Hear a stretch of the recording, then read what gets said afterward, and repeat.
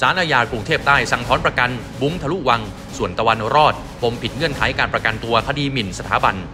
บุกป่วนศูนย์วัฒนธรรม ให้ปลดนวรัตน์พ้นศิลปินแห่งชาติ ล่าสุดศาลสั่งจำคุกบุ้งทะลุวังอีกหนึ่งเดือน ฐานละเมิดอำนาจศาลปมทะเลาะทำร้ายกับตำรวจศาลพร้อมออกหมายจับหยกไม่มาตามนัด26 มกราคม ศาลอาญากรุงเทพใต้ ได้นัดฟังคำสั่งกรณีตำรวจสอนอปทุมวัน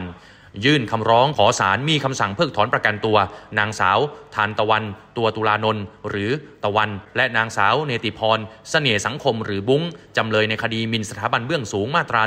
112 กรณีการทำโพลสำรวจความเดือดร้อนจากขบวนเสด็จที่บริเวณห้างสยามพารากอน เมื่อวันที่ 8 กุมภาพันธ์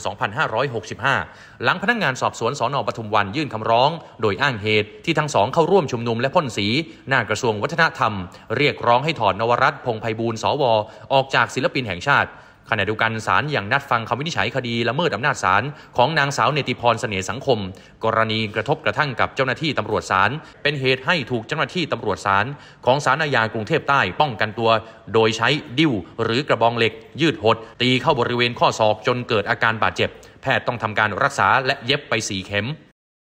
นางสาวกุลธิการนุจรัตหรือทนายทราย ทนายความของนางสาวทานตะวัน และนางสาวเนติพรกล่าวว่า วันนี้มีสองคดีคือคดีที่จะอ่านคำสั่งถอนประกัน และคดีละเมิดอำนาจศาลตอนนี้รอให้ศาลตัดสินผลจะออกมาไม่เกินเที่ยงของวันนี้ นางสาวทานตะวันจำเลยคดีหมิ่นเบื้องสูง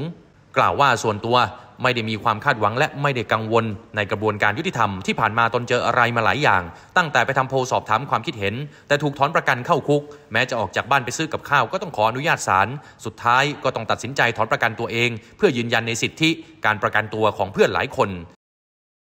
ด้านนางสาวเนติพรหรือบุ้งจำเลยกล่าวว่า ไม่เคยคาดหวังกระบวนการยุติธรรมไทยอยู่แล้ว ถ้าวันนี้ผลการตัดสินออกมาจากกรณีที่ไปเรียกร้อง ให้ถอดถอนสวนวรัตแต่กลับถูกถอนประกัน เราปกป้องผู้มีอำนาจประเทศไทย ก็แสดงชัดแล้วว่าตั้งแต่กรณีนายมงคล หรือบัสบาสที่ถูกตัดสินจำคุกมาตรา 112ถึง50 ปี อยากให้มองเนื้อหาที่ออกไปเรียกร้อง อย่าไปมองว่าพวกตนก้าวร้าวอยากให้มองว่าเราทำเพื่อสังคมไม่ได้ทำเพื่อตัวเอง เพราะอยากได้ประเทศที่ดี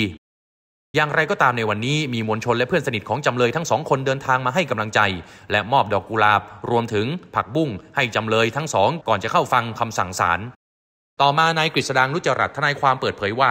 วันนี้ศาลมีคำสั่ง เพิกถอนการปล่อยตัวชั่วคราวนางสาวเนติพรหรือบุ้งเนื่องจากไปชุมนุมเรียกร้องให้ถอดถอน สวนวรัตและปรากฏหลักฐานที่เป็นภาพถ่ายว่า เป็นบุคคลที่ไปพ่นสีธงสัญลักษณ์เบื้องสูง แม้ว่าขณะนั้นจะใส่หน้ากากโดยสารเชื่อว่าเป็นบุคคลเดียวกัน ในส่วนของนางสาวทานตะวัน ยังไม่มีเหตุให้เพิกถอนการประกัน จึงให้ยกคำร้อง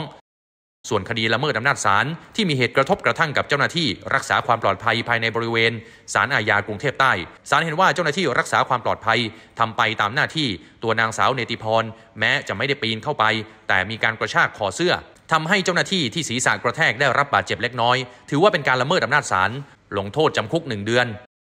ส่วนยกเยาวชนที่ปีนรั้วเข้าไป เนื่องจากตัวเป็นเยาวชนศาลเลยให้ตักเตือน แต่เนื่องจากวันนี้ยกไม่ได้มาศาลศาลจึงออกหมายจับ เพื่อให้มาฟังคำพิพากษาที่ให้ตักเตือน